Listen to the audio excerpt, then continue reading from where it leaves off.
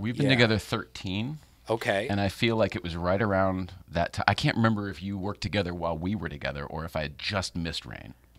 I think you guys were just getting together. It was around the time then we, So we stopped working together. But Nicole plus. was my amazing publicist for many years during my early uh, years, launching in The Office and several movies that happened and some crazy tours. And um, it was just uh, a nutty time.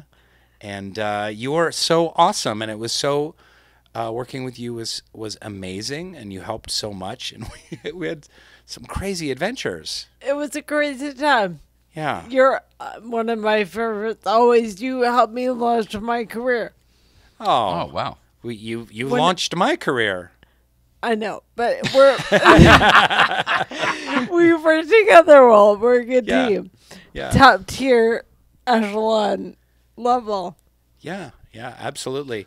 And um, I learned so much from you. It was really fun. Um, the rocker was especially crazy, but it was. But That's that was not on here. Tell me about the rocker. That's not on here. okay. what do you What do you want to say about the rocker? The uh, Why was it especially crazy?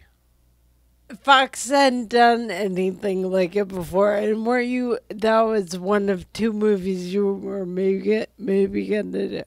I think one of was a holiday-ish film, and then that one. And Yeah. Fox looked to me to do so. We today did the Caribbean things to Sean Avery. Sean who, Avery. who stayed there uh, for a music festival. So we did a bunch of there. Yeah.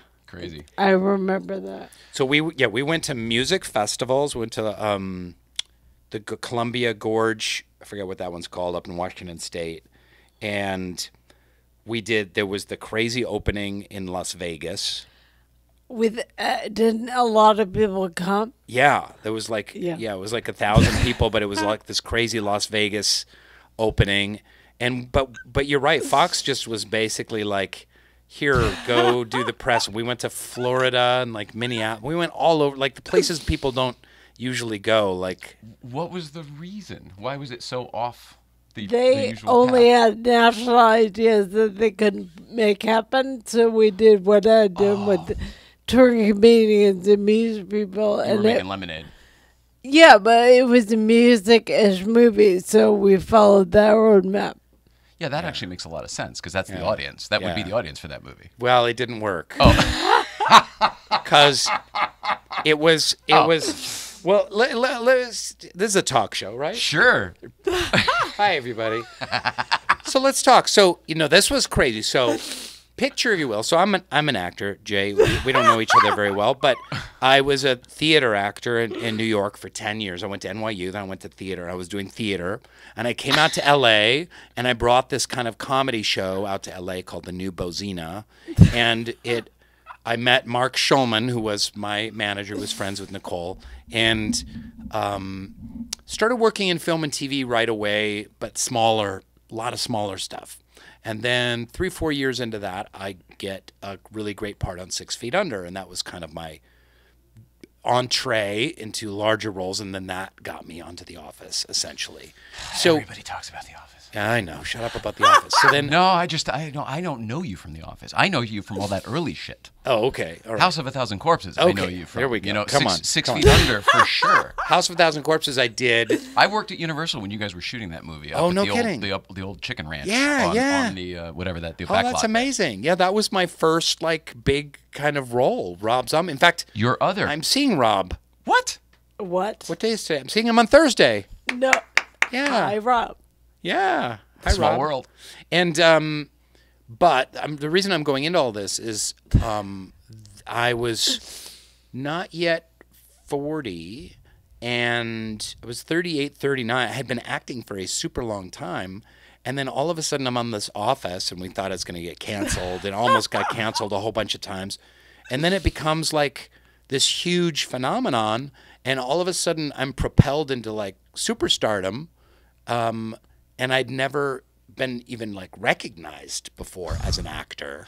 And all of a sudden, it's like I'm on the cover of magazines and hosting Saturday Night Live Yeah. and um, it was crazy and then doing a bunch of movies and stuff like that but uh, so it was it was an especially nutty time there's nothing to kind of throw you off balance like a whole lot of fame So you were there during the meteoric. ri- I mean, that's that's Yeah. trajectory that not many people get to realize. Yeah and it happened in a really short amount of really time. short. It happened so fast. Like I knew Mark, your manager, then from I forget why, but we talked early, and then it was like we need to meet now. We need to move now. It was so fast. yeah because the office really launched 2004 2005 and then like 2007 i'm hosting snl and have done leads in like three or four different movies and, but it, so it was all like in a two years like bam but the rocker jay Back to the rocker. was one of the biggest bombs in movie history. And because, but it, no real fault of ours. It's a very sweet, lovely, goofy movie. It's a perfectly fine movie. Families love it, kids love it. It's not a great film, but it's a silly summer comedy, and it was it was totally fine. And Fox didn't know what to do with it. They kind of dumped it during Labor Day weekend on like 2,000 some screens, oh. and they didn't They threw it promote it at all. They Yeah. threw it out there, and no one went to see it. And it was the end of summer coming into school, and it just it tanked, and it was it was brutal because for me it was like, oh, here's my starring vehicle. It's the it's my name, it's my face, you know, on the poster. Did this big tour with Nicole promoting it, and um, and no one went to see it. And it was just a bomb, and then it was you know it was my career definitely took a hit, you know, because Hollywood, well, Hollywood kind of goes, oh, not a movie star, you know. Oh, right, right, right. You know, hit and miss, right? And okay. So it, you know, I got to, I've gotten to do some other great leads in some other movies and, and stuff like that. But it was it was rough. Ah, man, I, I, I, I, we're gonna get to the card, but I, I there. Hmm. Go ahead. Hesher, you remember Hesher? Yeah, Do you remember shooting Hesher? I do. I met you at the shoot. I, I brought my Back to the Future time machine to the set of I, I, Hesher. I have a picture of me with it. I know you sat in it. You thought it was really cool. It was awesome. yeah. Uh, why, why did you have a Back to the Future time machine? Why do I have this? I'm a fucking weird guy who likes these crazy land of make believe type things. Okay. Uh, I built that with a friend, and it ended up being like the official Universal one for a long time. And they used it for all. That's why we were. That was the 25th anniversary. We You were doing built a that bunch thing? of different things. Yeah, That wasn't like one an extra one from the movie or something like correct, that. correct. And Bob Gale and Bob Zemeckis had the exact same impressions. A friend of ours. Had, this is we should be talking about you, but a friend of ours. Uh, uh, uh, by the name of Simon Wells, is a great director and writer. He worked on the Back to the Future movies and was working with Bob Zemeckis and said, "Hey, these guys, my friends, built this thing. You got to have them bring it by." We brought it to the set. Even Bob Zemeckis said he thought we were pulling his leg. But I want to talk about you. That's amazing. Yeah, Hesher was a great film. I always confuse Hesher with the rocker though, because they both had sort of a rocker thing. But the but the Hesher was the other guy. It was actually the other guy was Hesher. Joseph you were just in that Gordon-Levitt was the lead in Hesher. That was an independent kind of independent film, right? Yeah, Yeah. yeah. yeah. They Dark. tried to make the rocker mass market, and it wasn't there oh. yet. But we Yeah. watched it. I didn't think it was a bad movie. I, I enjoyed the movie. The Rocker. Yeah. yeah, it's fun. Okay. People still Go all out the time home video. up. Yeah. Oh, I, I'm any bargain bin that's out there. Like you go into and you know the dollar ninety nine DVD bin if they still have those or the ninety nine cent. It's it's going to be filled with rocker DVDs. Trust me.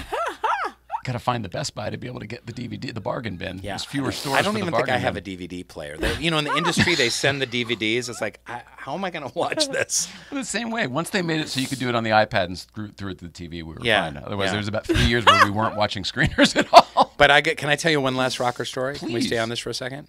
So, this is one of my favorite stories about show business. So, the rocker totally bombs. The Office is just starting up again, season I don't know, maybe four or five. I can't remember which season it was. And I'm driving. You have to get in there ass early to the ah. office because you know you got to get your makeup on at like six fifteen, ready to shoot at seven. And then so I lived out in Agoura Hills, so I was driving, leaving at five, five thirty in right. the morning. So I'm listening to the old uh, L.A. icons Kevin and Bean on KROQ back when people used to listen to radio and not to podcasts, right? And they're on KROQ, and I had come in on KROQ and promoted the rocker, and and I'm driving. I'm just devastated. I'm driving, and I have to go Alex see. Warren over on Fairfax. Yep. I know where you're talking about. And I have to drive in and see all my office mates, and my movie's bombed. That's going to be awkward. What they're not going to know what to say. And I'm on, I'm listening to Kevin and Bean, and they're like, "Okay, hey, it's Kevin and Bean." You know, they talk really fast like DJs, and they're like, "What? Um, so." Uh, let's look at the movies from this weekend. And this and this movie, Tropic Thunder, was doing pretty well, and blah blah blah. And they're like, "Hey, wait a second, where's Rainn's movie? I don't even see it on this list." Like Rainn, they're like, "I don't see it on that. It's not even on the top ten list." Wait, what's this? It came in twelfth for the weekend. I thought it was just released. It was a big movie. Oh no! Oh, it bombed. Oh God, that's gotta hurt. Poor Rainn. Oh my God. And I'm on the 101 freeway over by like Woodman, and I'm sobbing in my car at like five fifty-seven in the morning, um, just in my Prius, like, and uh, it was really uh, humiliating, um, and I'll never forget that uh, that moment. And uh, that's showbiz, folks. That's how it works.